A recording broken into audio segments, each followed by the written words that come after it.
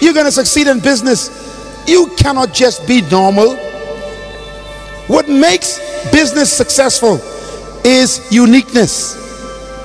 What makes a business successful is uniqueness. What makes business successful is your uniqueness.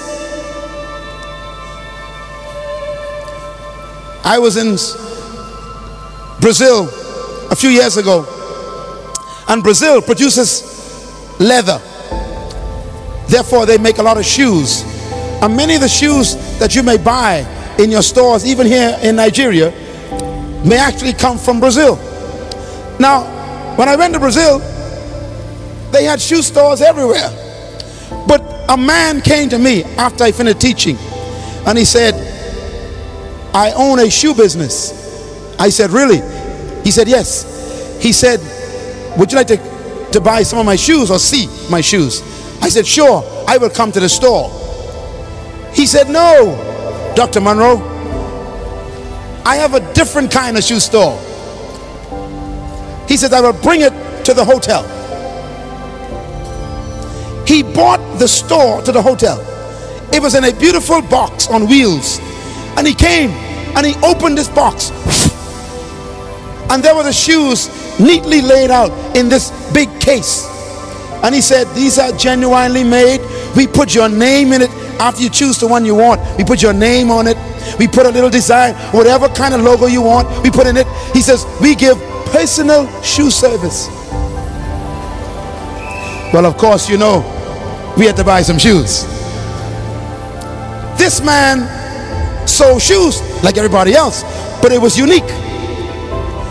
And his shoe were costing up to 300 US dollars. Why? You were not buying shoes, you were buying convenience, you were buying simplicity, you were buying originality, you were buying your own logo. In other words, he had an idea that was beyond just selling shoes.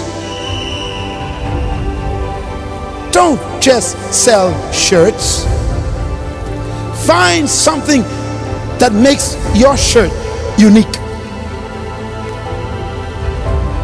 Everybody sells hamburgers, but they do not sell a Big Mac.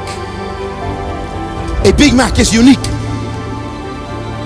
They patent it. I challenge you, even as a minister of the gospel, patent your ministry. Don't just preach any message, find your unique message and develop it and refine it so it becomes you. When you think of faith, you think of David Oyedepo.